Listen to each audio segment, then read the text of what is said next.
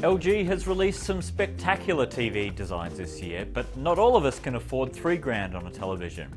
Hi, I'm Ty Pendlebury, and this is a review of the LG LS4600, and it starts at the much more affordable street price of $700.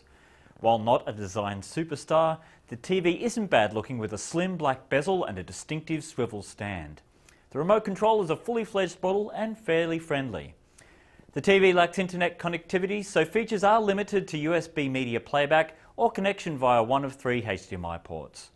As far as picture quality is concerned, the 2012 LGs have been a mixed bag, with a couple of standouts and a whole lot of dross. And unfortunately, this TV fits in the latter.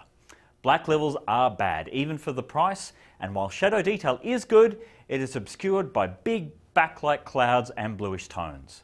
Colour is okay, but there is a lack of vibrancy that even TVs at half the price can muster. But at least it has a swivel stand, right?